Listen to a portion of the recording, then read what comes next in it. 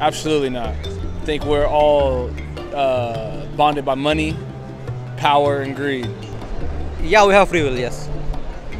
You can we can talk whatever we want. You know, until we don't offend any other people, we can talk whatever we want. Yeah, I think we have free will. I don't think we have free will. I think our actions are completely determined by our biology and our environment. We can uh, make choices, yes? We can choose whatever we want. So, yes, that's why. Do we have free will? That's a tricky question. I, I want to say no. Is there such a thing as free will? I think it's a state of mind. And if you feel fab, you've got free will.